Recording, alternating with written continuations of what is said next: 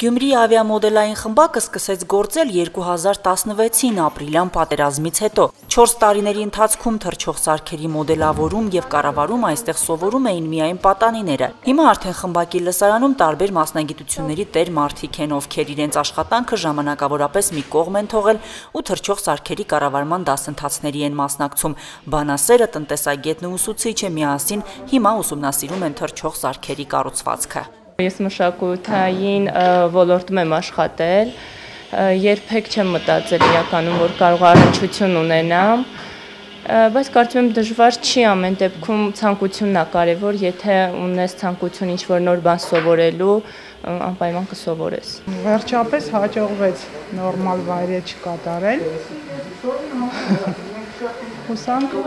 հետագայում էլ նույն ձև կլինի։ Մեզ հետ զրուցելիս դասընթացի մասնակիցները հայացքը էկրանից չեն կտրում։ Մի պահ շեղվելն արդեն կնշանակի անօթաչու թռչող սարքի վերահսկողության կորուստ։ Առայժմ թռչող սարքերը վիրտուալ են կառավարում։ Հատուկ համակարգչային ծրագիրը թույլ է տալիս որոշակի հմտություններ ձեռք բերել դաշտային նաև լեռնային պայմաններում թռչող սարքերը գործարկելու համար կառավարելը այդքան էլ բարդ չի, բայց ասենք որպես այդ տեխնիկական առումով արդեն մի, մի քիչ բարդություն կա, դե տղաների համար ինձ թվում է ավելի հեշտ է, աղջիկներին մի քիչ բարդ է, բայց արդեն թռիչքը ստիմուլյատորի վրա էս ամեն ինչը ինքը բավականին հեշտ է։ Արդեն հատուցում է թրծնենք, ուսումնական է, լավ, բայց շուտով արդեն իրականի վրա էլի փորձենք Պետք է որ ստացվի էլի, հաղթելու համար ամեն ինչ կենենք։ Արագացված դասընթացներ կազմակերպելու միտքը Գյումրիի ավիամոդելային խմբակում ծնվել է պատերազմի առաջին օրերին։ Ընդամենը մի քանի օրում կամավորների թիվը մոտ 2000-ի է հասել, ու դասընթացների անցկացումը Գյումրիի ավիամոդելային խմբակի սահմաններից դուրս է եկել։ Այդ արարությունը տարածեցինք 1-2 օրվա ընթացքում արդեն 100 հոգի անդամագրվել էր հետո նախարարությունները կրթության, գիտության, սպորտի, երիտասարդության հարցերի նախարարությունը տարածեց մեր հայտարարությունը իրենց կապերով արդեն մոտ 1800 ավել հայտեր կային հետո նախարարությունը ասաց որ այդ գործունեությունը մենք կանենք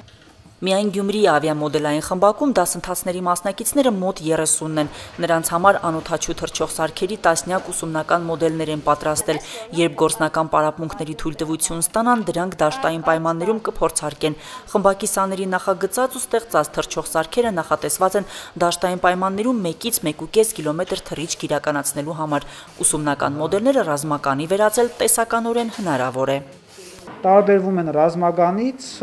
զուտ իրանց էլեկտրոնիկայով, իրանց որակներով, իրանց ամրությամբ, ընդանուր սկզբունքները նույնն են։ Այս պահին իմ ձեռքում կրիլո կոչված թև կոչված մոդելն է, այսինքն ինքը ամբողջական թև է,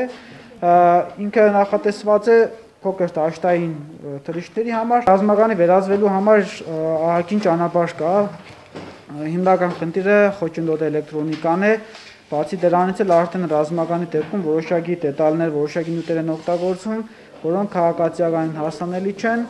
Գյումրի ավիամոդելային խմբակը նաև դրամահավաք է սկսել։ Գյումրիի խմբակը հանրապետությունում միակն է եւ դրամահավաքի նպատակը գործնեության ընդլայնումն է։ Լորիում եւ Տավուշում ավիամոդելային խմբակներ բացելուն նախնական պայմանավորվածություններ կան։ Դրանք ռազմաարդյունաբերությունում ինժեներական մտքի զարգացման, հետագայում նաև զինված ուժերում առանձին ստորաբաժանումների ստեղծման հիմք կարող են դառնալ։